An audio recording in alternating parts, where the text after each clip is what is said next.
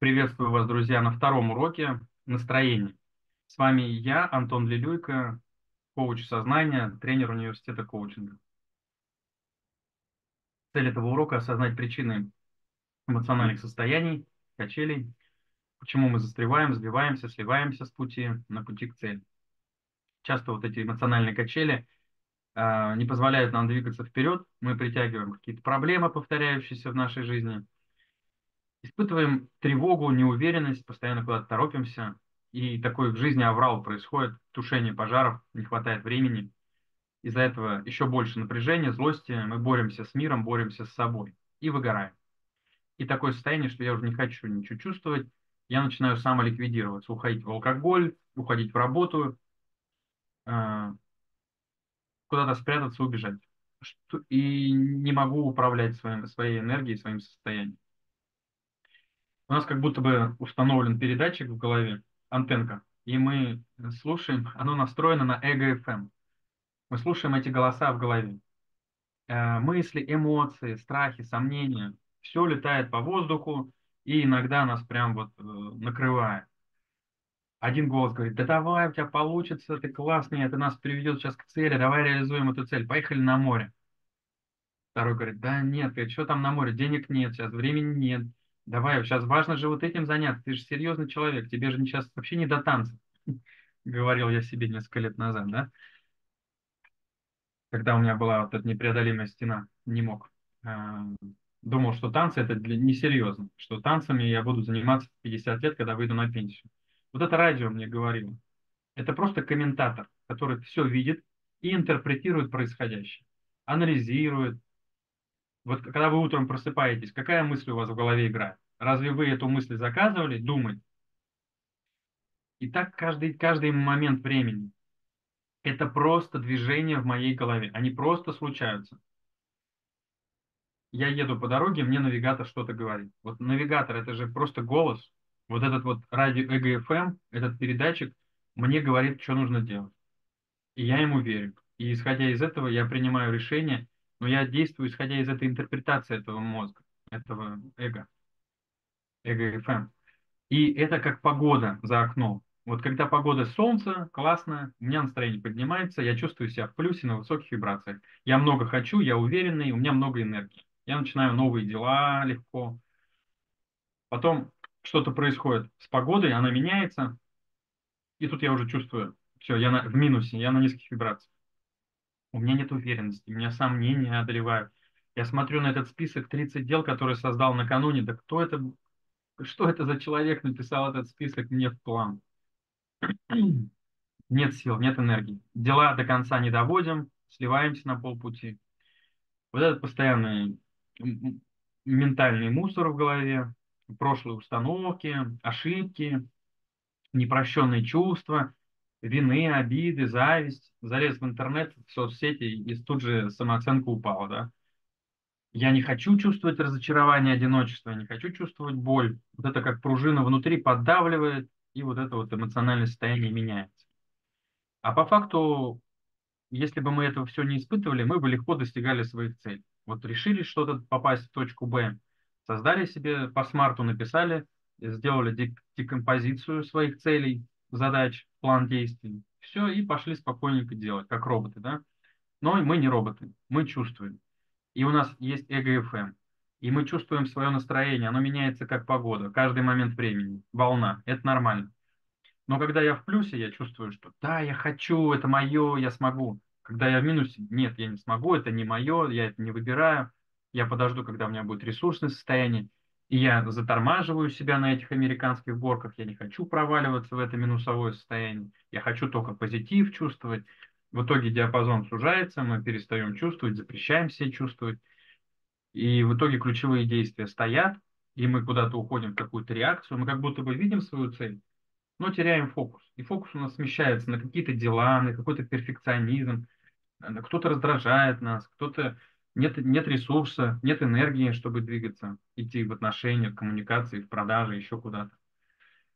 И поэтому есть второй путь, есть физический путь. Это шаги, действия, которые нам нужно сделать из точки А в точку Б. По смарту мы прописали декомпозицию, мы знаем, что он нужен. И этот путь, он необходим, ну, без него никак. Но есть еще и второй путь, вот это внутренний путь. Это, это навыки работы с мышлением, это навыки развивать свой эмоциональный интеллект, быть устойчивым, быть в балансе эмоциональных качелей. Постоянно мир меняется, постоянно будут трудности. И важно быть в балансе и уметь быть гибким к изменяющемуся миру, принимать сложные решения. Важно управлять своей энергией, поднимать ее, когда необходимо, держать фокус на цели, повышать осознанность, уверенность, смелость, иметь внутреннюю опору на себя, а не на внешние обстоятельства, так, ну, так называемую духовитость развивать. И вот у нас как будто бы мы смотрим на мир через проекцию, через такой экран, вот экран нашего ума. Что-то происходит, какое-то событие во внешнем мире. Например, звезда вот потухла, и свет от нее мы видим. Звезды нету, но мы видим этот свет вот на космическом размере. Да, что происходит? То же самое мы, мы видим какие-то предметы, события вокруг себя. Они, э, это свет, который доходит до сетчатки глаза, потом мозг это перерабатывает в соответствии со своей установкой и целью. То есть вот, должно все быть белое. Белое это мне нравится. Вот если, если это белое, значит мне нравится. Если что-то черное, что мне не нравится, все, я сразу, это черное, мне это не нравится. Он плохо, хорошо. плохо или хорошо, ум а, э, оценивает, дает ярлыки, вешает. И в итоге мы видим только изображение с задержкой. То есть событие уже произошло, это уже произошло в прошлом. Все наши чувства, переживания, какие-то состояния, это то, что мы видим, осознаем, оно, это уже в прошлом, это уже прошло. Мельчайшая доля времени, но это было уже, это прошло. Но что происходит, когда мы чувствуем боль, разочарование, недовольство, мы вышли из себя, можно сказать, в этот момент.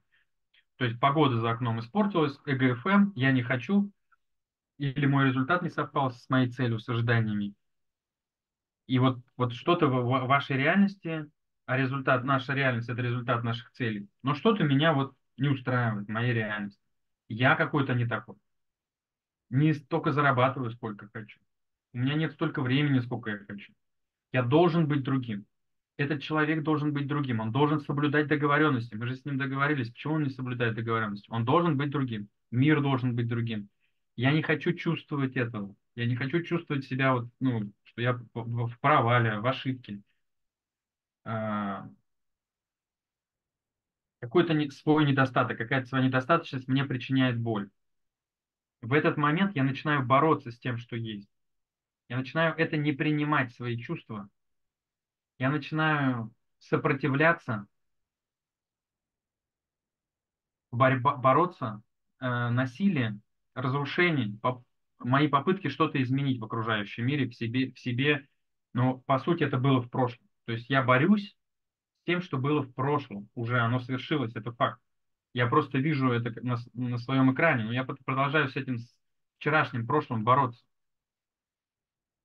И чем больше мы давим, чем больше мы боремся, чем больше мы сопротивляемся, чем больше мы давим на живую систему, живая система рождает действие, равное по силе или сильнее противодействия. Сила противодействия. Чем больше мы давим, тем больше мы получаем сопротивление. И в итоге, когда мы двигаемся к цели, у нас есть ожидание и есть результат. И когда ожидание не соответствует результату, нам этого недостаточно, мы чувствуем, что нас не устраивает, мы чувствуем недовольство и расстройство, мы чувствуем боль.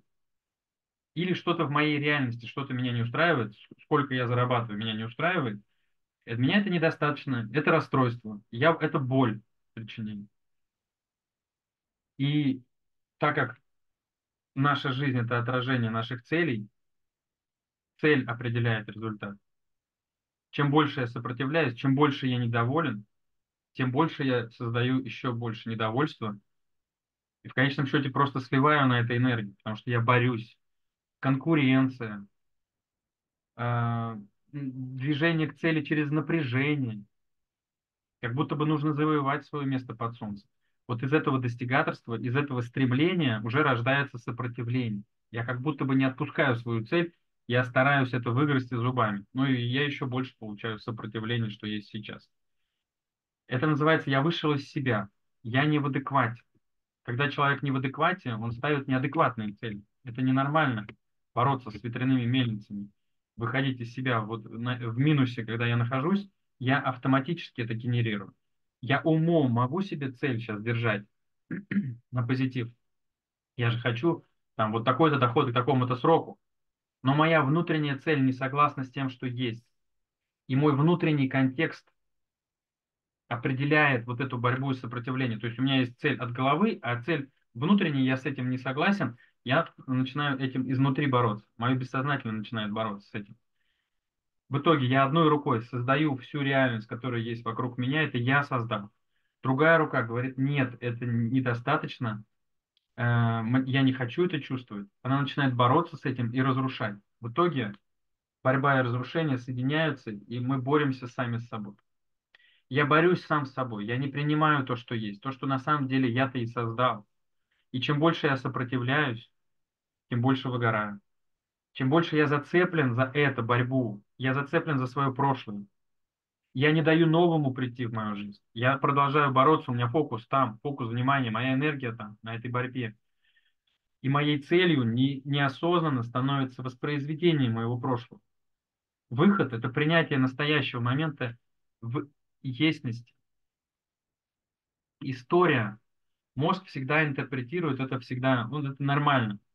Вот. Эго-ФМ будет всегда, мы всегда будем интерпретировать, создавать историю, жить в такой, в некой истории, иллюзии своего ума. Но важно отметить, что история начинается со слов «да, но».